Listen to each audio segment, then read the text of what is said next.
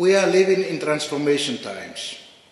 Transformation times are giving us challenges, but they have uh, some very specific difficulties. We are living in a new age of society. You know, there are three different names about this society. Uh, the Americans, the Anglo-Saxons call this time as a time of uh, machine age number two, the age of machine two. We can be sure that it will be a knowledge society, a society for, where information are playing a very important role, biotechnology, nanotechnology, and other kind of this uh, well-known modern sciences are bringing out new forms of productions, new forms of social relations. For our foreign policy, security and stabilization is playing a much more important role than some years back. We have created these five lines of stability with a positive agenda. In our region, what is very important is to put in the international relations, in the international cooperation, positive agenda. In this system, we are creating in the Eastern Mediterranean, this spirit of Rhodos has one goal, has one concept, to create in Eastern Mediterranean a security and stability structure as Europe has done in the 70s with the Helsinki Conference and then with OSCE to create such kind of stabilization and security zone. And the solution for Balkan is to come the so-called what we are saying the Euro-Atlantic way, that all the countries will become members of European Union and NATO. We have already Bulgaria and Romania in the European Union NATO and Albania in NATO.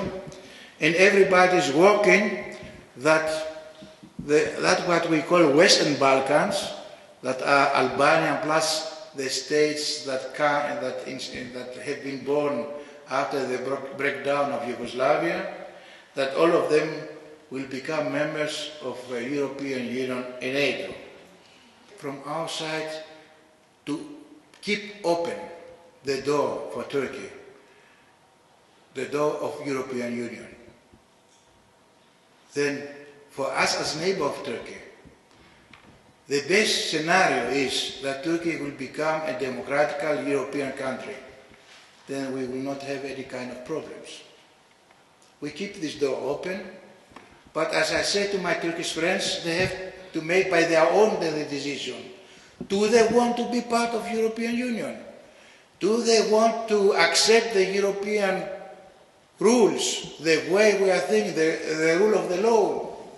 That is their decision, it's not ours. They have to decide where the real belongs. Cyprus became independent.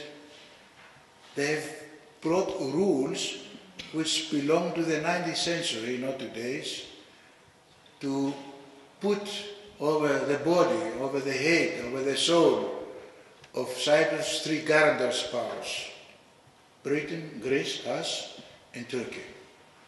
We are saying, and we believe deep in our heart, that in the 21st century there cannot be countries under the guarantee power of third countries. There cannot be a member of European Union or a member of United Nations which has not the full sovereignty. That Cyprus is time to become a normal state, a normal state like all the states members of European Union and United Nations.